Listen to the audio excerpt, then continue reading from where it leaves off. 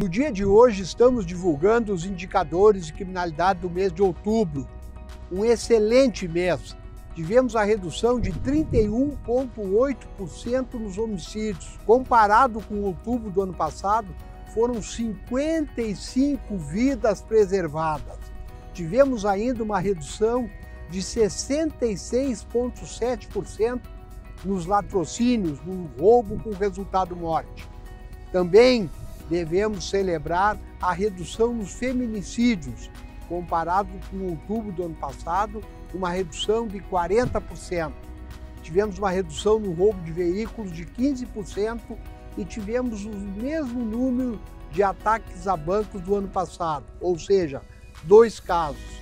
Então, eu posso afirmar que o mês de outubro foi um excelente mês no tocante à criminalidade no nosso estado.